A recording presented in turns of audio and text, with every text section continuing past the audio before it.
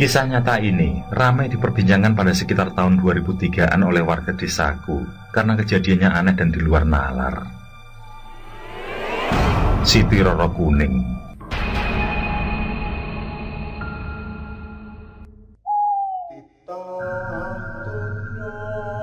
Assalamualaikum warahmatullahi wabarakatuh. Selamat datang kembali di channel Pen Invasion. Channel yang menyuguhkan video cerita bergambar seputar misteri Simak terus video dari kami.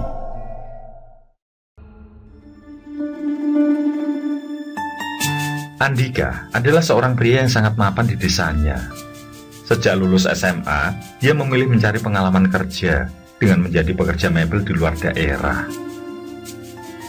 Dan ternyata pengalaman itulah yang membuatnya menjadi sukses. Setelah sekitar empat tahun lamanya dia berkelana, akhirnya kembali pulang kampung dan mendirikan usaha mebel sendiri. Tidak tanggung-tanggung, dia menjual lahan perkebunan peninggalan almarhum sang ayah sebagai modal. Meski sempat mengalami kesulitan, namun pada akhirnya usaha mebel yang dirintis sangatlah maju pesat Garapannya yang halus dan bernilai seni tinggi membuat hasil karya mebelnya terkenal hingga keluar kota, bahkan luar provinsi. Sampai-sampai dia kewalan melayani semua pesanan.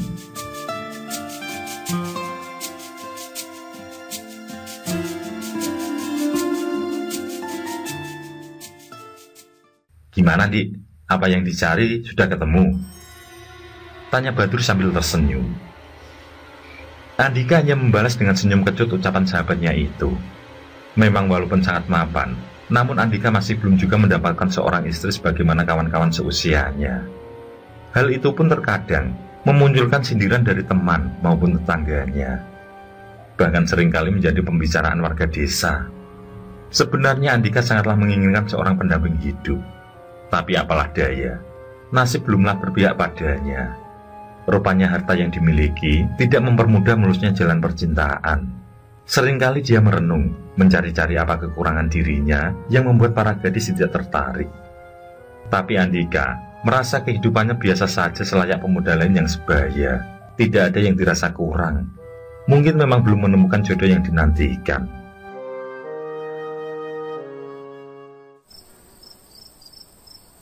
Malam itu setelah sholat isya, Andika bersantai di teras rumah. Dia mulai berpikir tentang bagaimana agar kesibukannya berkurang dan lebih fokus pada urusan pribadinya, terutama tentang masalah jodoh. Di usia yang menginjak 30, tentu bagi warga desa adalah usia yang matang untuk menempuh hidup berkeluarga. Ponsel yang berdiri beberapa kali dia cancel Andika ingin menuntaskan permasalahan tersebut tanpa gangguan di malam itu. Ketika berniat mematikan ponsel, tiba-tiba dia memiliki ide iseng untuk mencari seorang gadis. Sambil melupakan kesibukan pekerjaan yang menguras pikiran dan tenaga, dia pun mulai menekan acak nomor telepon. Itulah ide yang didapat. Dia berharap ada respon dari salah satu nomor dan adalah seorang bidadari yang dicari. Malam semakin beranjak naik. Entah sudah nomor telepon yang keberapa dia pencet, namun selalu saja sosok lelaki yang bersuara. Selainnya, malah cuek dengan nomor yang tidak dikenal.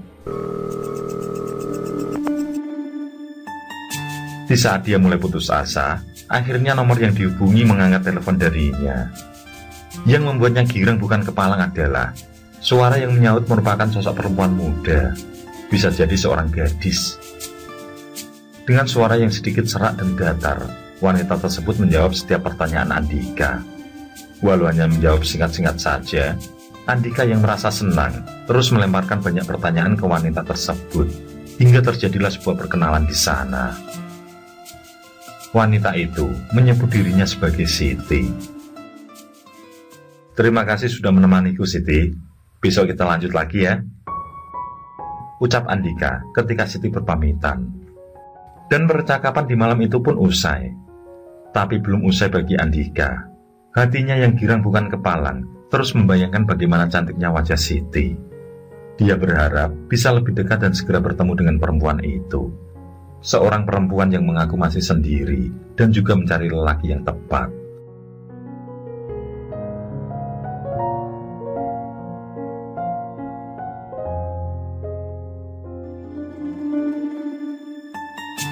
Hubungan yang berawal dari iseng itu terus berlanjut hingga Andika pun merasa nyaman dengan Siti. Andika ingin sekali bertemu langsung dengan Siti, akan tetapi wanita tersebut tidak sekalipun mau untuk diajak bertemu. Ketika ditanya alamat rumahnya, dia juga tidak pernah mau menunjukkan. Meski begitu, Andika tidak berputus asa. Dia merasakan jatuh cinta sangat dalam, sehingga dia berpikir jika Siti adalah jodoh yang diberikan Tuhan padanya. Rasa cinta yang tidak terbendung membuat Andika memutuskan untuk mengungkapkan rasa kasih itu. Di satu senja, di tengah perbincangan dengan Siti, dia langsung menyatakan perasaan yang sudah tidak bisa dibendung. Andika meminta jawaban dari Siti agar mau menjadi kekasihnya. Alangkah bahagianya Andika ketika Siti menerima cintanya. Siti mengaku kalau dia juga mencintai Andika namun dia tidak mau jika hubungan mereka diawali dengan berpacaran. Dia ingin agar Andika langsung datang menemui orang tuanya untuk melamar. Tanpa berpikir panjang lebar, Andika langsung menyetujui keinginan Siti. Toh dia juga sudah tidak sabar untuk melangsungkan pernikahan. Dia tidak mau terus-terusan dijadikan bahan obrolan warga ataupun kawan-kawannya.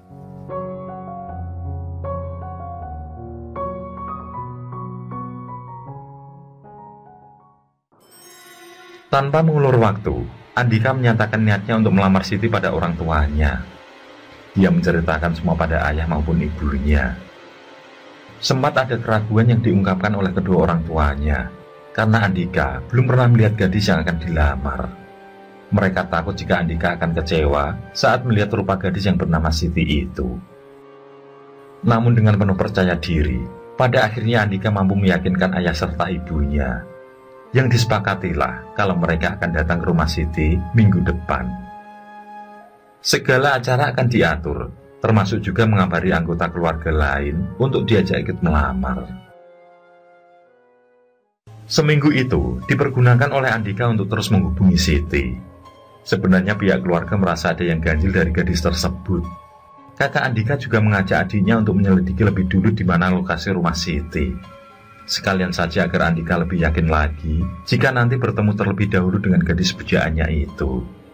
Tapi Andika menolak karena Siti belum memberi alamat rumahnya.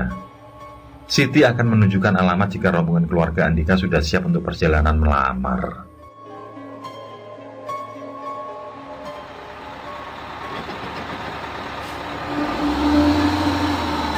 Bersama keluarga besar, selepas maghrib, berangkatlah Andika menggunakan minibus milik salah seorang kawannya.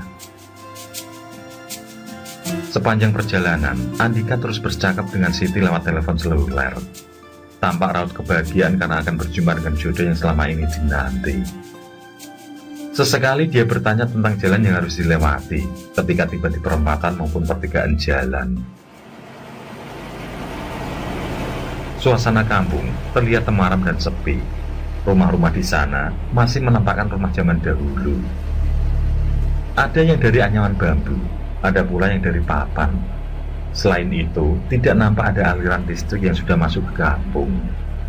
Cahaya hanya dari obor yang ditaruh di teras maupun di pagar rumah. Mobil pun berjalan lambat karena jalanan masih terjal batuan belum beraspal. Alamatnya apa benar ini, Di? Tanya Pak Sopir yang belum pernah sekalipun melihat perkampungan semacam itu. Ada keraguan yang muncul dari mimik wajahnya. Andika menyuruh agar sopir terus melajukan mobil sesuai arahannya.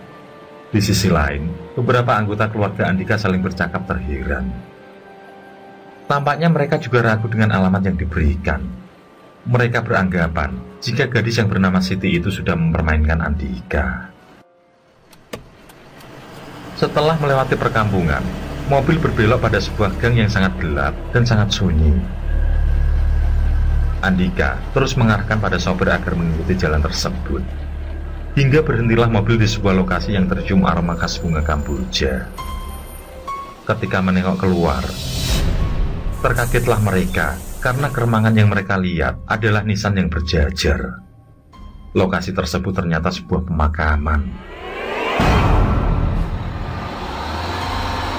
Tanpa menunggu aba-aba dari Andika, sang sopir langsung mencari jalan untuk balik arah.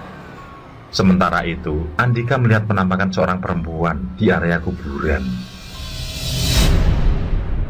Sosok gadis dengan baju kuning dan rambut rapi itu berdiri tidak terlalu jauh sambil menatap ke arahnya. Meskipun dalam keremangan, namun terlihat jelas senyum mengembang di bibir gadis tersebut. Bersamaan dengan itu pula, ponsel Andika mati.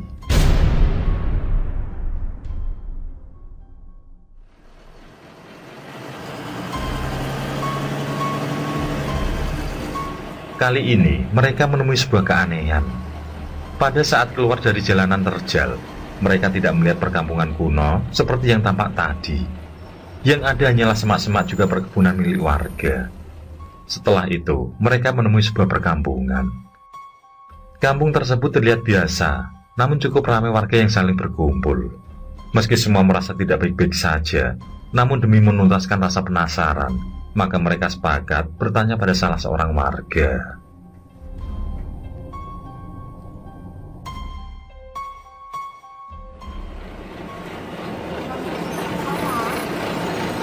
Andika turun, kemudian menanyakan tentang alamat yang diberikan oleh Siti. Saat melihat alamat serta nama yang diberitahukan, dengan tanggap lelaki parubaya yang ditanya itu pun berucap, Sudah tidak salah, Siti Roro Kuning berulah lagi.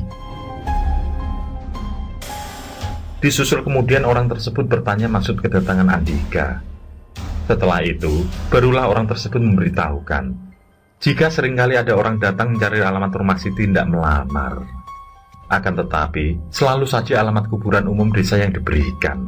Mungkin karena makam Siti ada di sana. Karena merasa penasaran, seluruh kerabat Andika turun dari mobil Salah satu di antaranya bertanya tentang siapa sebenarnya gadis yang bernama Siti itu. Warga itu pun berkisah tentang siapa gadis yang dikenal warga sebagai Siti Roro Kuning itu. Semasa hidup, Siti yang cantik jelita adalah kembang desa. Gadis yang terlahir dari keluarga sederhana itu membuat semua pemuda terpikat akan kecantikan dan kepolosannya. Di usianya yang ke-17 tahun, banyak pemuda yang bersaing meminang Siti. Hampir kesemuanya dari golongan orang kaya. Namun Siti selalu menolak lamaran para pemuda tersebut. Dan semua orang merasa terheran ketika Siti dijodohkan dengan salah seorang kerabatnya sendiri. Dialah Barkah, putra dari Paman Siti sendiri. Menurut kabar, Paman Siti telah berjasa saat menolong ayah Siti yang kala itu sedang bertarung dengan binatang buas saat mencari kayu bakar di hutan. Jika tidak ada pamannya, maka sang ayah sudah tidak ada lagi di dunia. Kebetulan juga istri keduanya sedang mengandung, sehingga sang ayah berjanji akan menjodohkan anak mereka jika memang berjenis kelamin laki-laki dan perempuan. Namun jika berjenis kelamin sama, maka akan diserahkan sebagian harta pada anak adik iparnya itu. Dari situlah awal perjodohan Siti dengan Barkah. Hal itu membuat banyak pemuda sakit hati termasuk pula putra dari pamong praja desa. Rasa cemburu buta melahirkan sebuah niat buruk dari pemuda tersebut.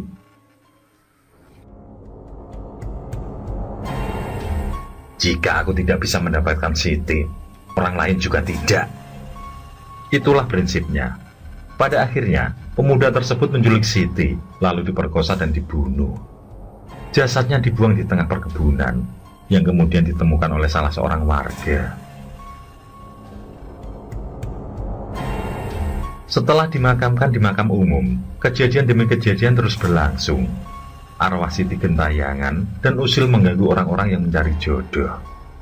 Kebanyakan adalah orang luar desa ataupun luar daerah.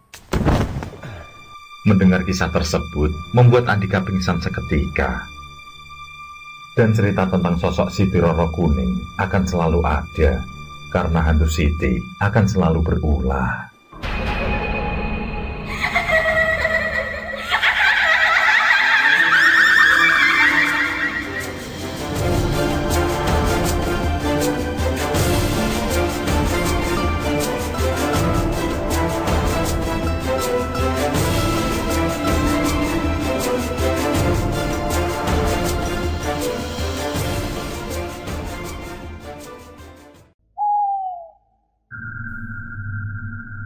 Oke, terima kasih.